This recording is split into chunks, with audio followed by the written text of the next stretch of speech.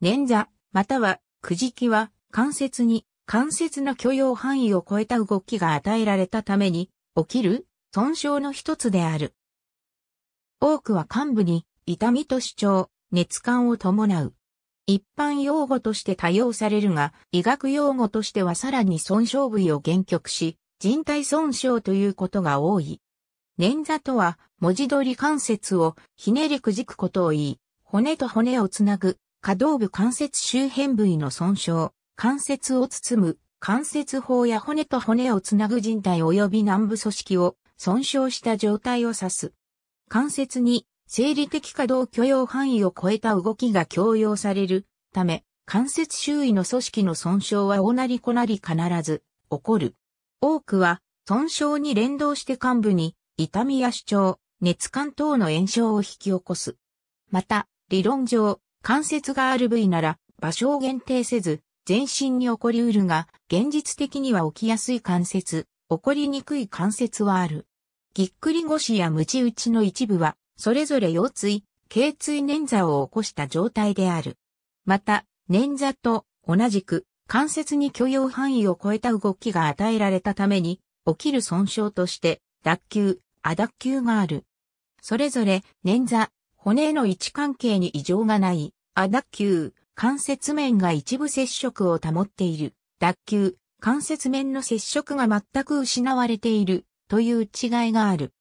脱臼、亜脱臼を征服した後の症状は、重度の捻挫と変わりないため、交通事故や労働災害など金銭が絡む保障の問題から、しばしば一時診察医療機関と二次診察医療機関の間で論争を引き起こしている。月指は指における捻挫の一種である。捻挫に陥る場所は多岐にわたる。骨は元来硬いものであるから、それらをつなぎ支える関節部に衝撃が集まりやすく障害を受けやすい。また、関節自体動かせる範囲が決まっており、加えて継続して力のかかる動きには弱く、運動時に限らず日常生活でも捻挫はよく引き起こされる。ぎっくり腰やムチ打ち症などは日常生活で起こりうる捻挫の代表例である。捻挫は関節が可動域以上の運動を強要されることによって起こり、関節周囲の軟部組織、例えば関節を包む関節包や関節を補強する人体の損傷を伴う。幹部に熱感や主張、痛みなど炎症症状が発生する。骨折や人体断裂を伴うことがあり、観察には注意が必要であり、放置すると運動障害や関節の軸変形につながる。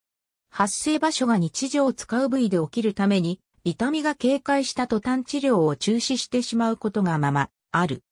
そんな時に起こる後遺症として関節を構成する人体、軟部組織が弛緩した状態で関節を補強すべき各筋肉が弱体化している場合には何度も同じ部分の捻挫を引き起こす、俗に言う捻挫癖等につながることもある。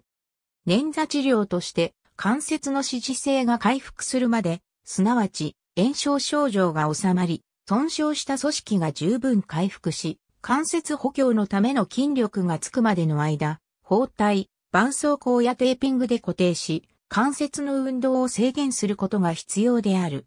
ただし、必要以上の固定はその後の関節の可動域低下を招く恐れがあるので注意が必要である。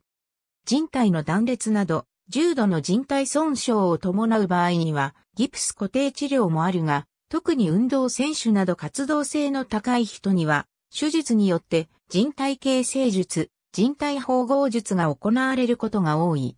関節によって手術療法の適用は異なり、膝や足首など荷重がかかる関節は手術の適用となることが多く、指や肘はならないことが多い。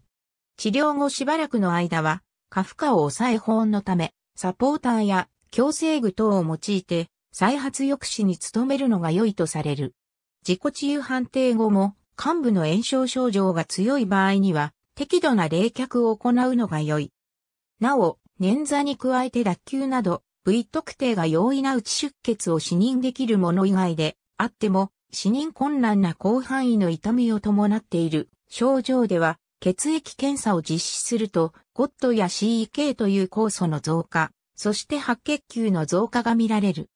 肝機能障害でもゴットは増加するが、肝臓の場合は GPT も増加するので上昇していないことを確認することによって筋肉ないし人体損傷、脱臼などと区別できる。故に自分で処置した場合でも専門家や医療機関での受診を進める。